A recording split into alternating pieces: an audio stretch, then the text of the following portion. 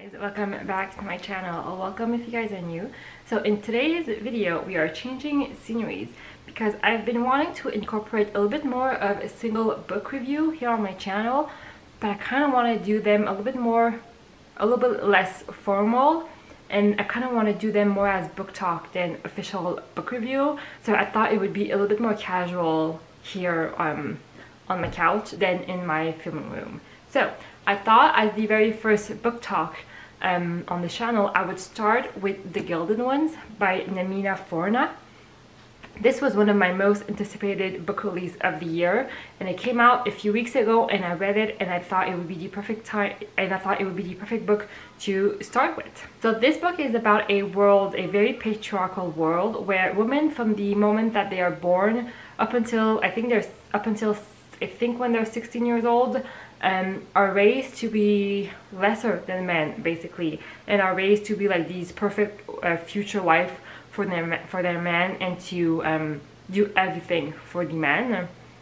And then on their 16th birthday they have to go through this ritual to make sure they are pure. Basically in this world women can either have red blood which is normal and then you would enter society enter the village become a member of the village or you can have gold blood which is which means you are impure and then you are outcast from your village and sentenced to death. Enters Deka, our main protagonist, and on the day of her ritual, her blood ends up um, running gold, which means she is impure and she is sentenced to death. But she meets a woman called White Hand, and this woman offers her a deal to basically basically become a warrior for the kingdom to defeat these Deathshriek, which are like horrible monsters who kills everyone.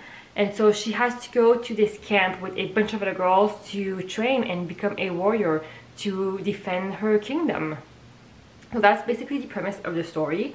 I ended up really liking this book. I gave this book a four star. I really liked it overall. I think it was really well done. Um, I would recommend this book. It was pretty different than anything else I have read. I think it's my first West African inspired book.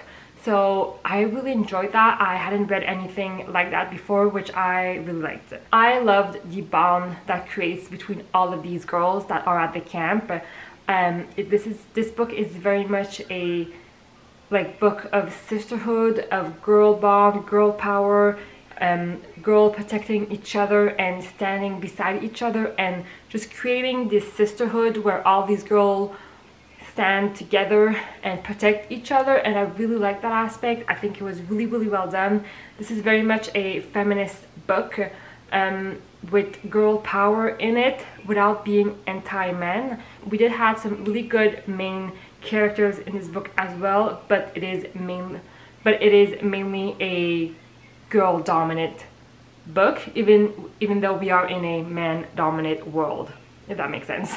I really enjoyed, especially in the beginning, the dichotomy between the girl that they were raised to be and the girl that they, that they are training to be and there's this big contrast between those two aspects and I really enjoy that. And it's also and it also made for a really good character growth I think in this book. I really like the arc of Deka um, how she started off as something and in the end is completely different. But I did feel like the growth in this book was pretty well done overall. I really enjoy that I love getting to know all of the other girls as well in this book and I love getting to know um, about their tribe and their tr tradition because even though it's a really big kingdom there's these bunch of like there's these provinces with this with these different tribes and they all have different traditions and different way of doing things even though it's a like a big country I guess. And I really enjoyed getting to know all these different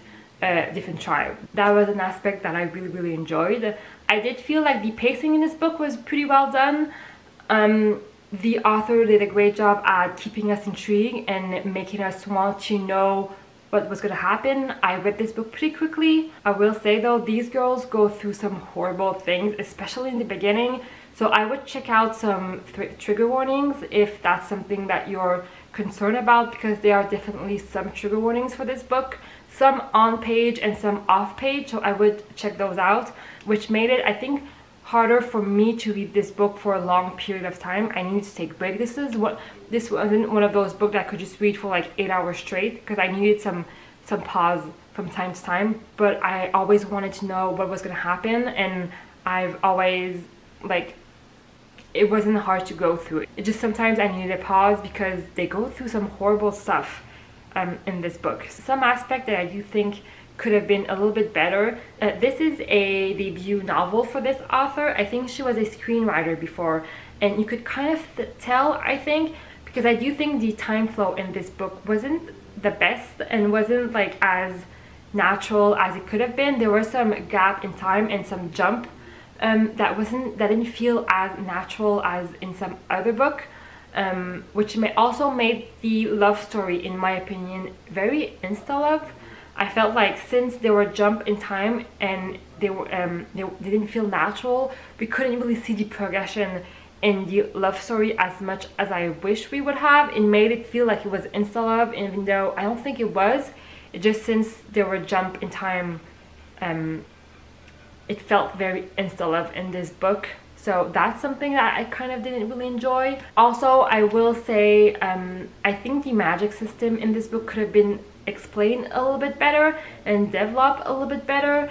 Um, we didn't get to know too much about it. We are kind of left off wondering we don't have any like specific rules we don't know any specific things about the magic system in this book so i think that was lacking a little bit i did say that i love getting to know you know all the different story and of the different tribe but i do think we could have had more in this book and um, I wish we would have more and I wish we would have gotten more about the different tribe and the history of the world.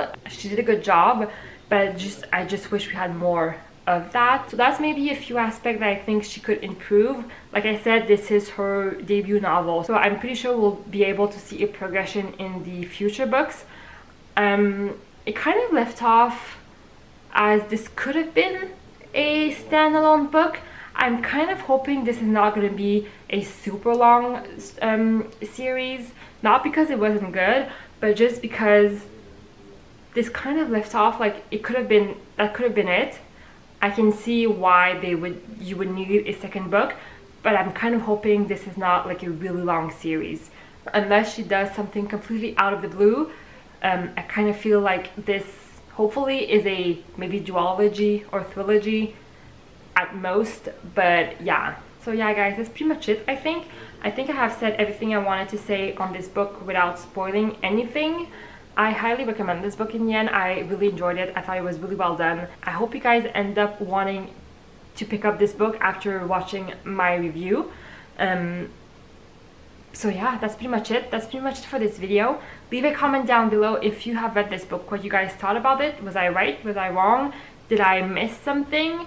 I hope you guys enjoyed this video and thank you guys so much for watching and I will see you guys later. Bye!